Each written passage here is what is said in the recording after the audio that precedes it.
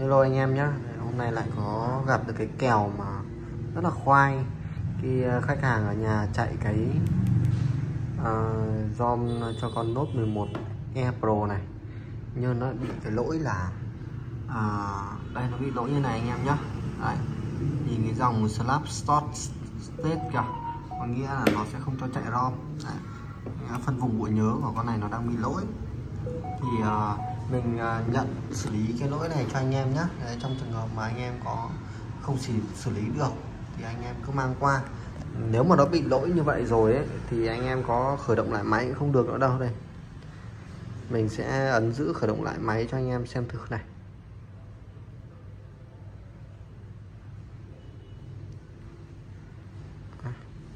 Đấy.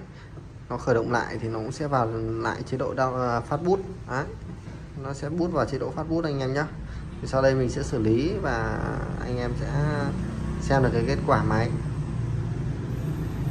đây là quá trình sau khi mình đã khắc phục lỗi anh em nhé đấy, là sau khi em khắc phục xong thì máy nó sẽ cho flash lại rom như bình thường anh em nhé đó. Anh em cần cái dịch vụ fix lỗi khi chạy rom thì anh em cứ liên hệ với em em sẽ hỗ trợ cho anh em.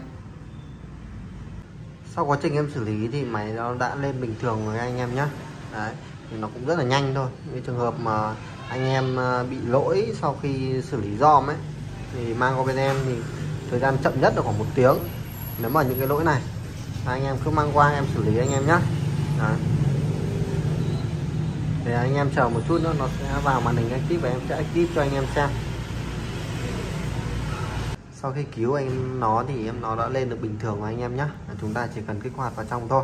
Đấy, cái máy này là máy nốt 11 E Pro anh em nhé Đấy, thì uh, em thấy là cũng có nhiều anh em phản ánh về cái lỗi như vậy.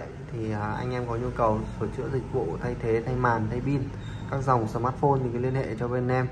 Em sẽ hỗ trợ cho anh em từ A đến Z. Đó. Đây, chạy dòng quốc tế luôn cho anh em.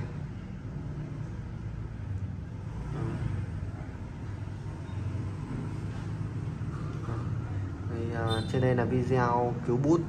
Đấy, cứu ờ, treo phát bút lỗi slop à, ờ, của máy Note 11 E Pro. À, anh em có nhu cầu liên hệ bên em. Cảm ơn anh em. Xin chào anh em.